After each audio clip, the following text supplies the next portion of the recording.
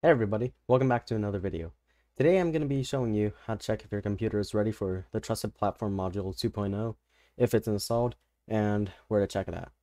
So one of the easiest ways to find this is to go into Windows Defender, which you can find in over here, or sometimes you need to open up this part and then it could be in here, or you could search it up.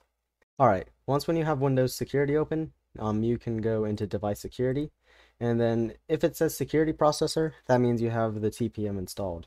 If it doesn't, that means your computer doesn't have it. But if it does, we can go into it. So mine says 2.0, so mine is ready for the Windows 11 release. If it says 1.0, your computer won't be ready for the Windows 11, so you may have to get the part. If this video was helpful, consider giving it a like and subscribing for more content. Thank you and have a good day.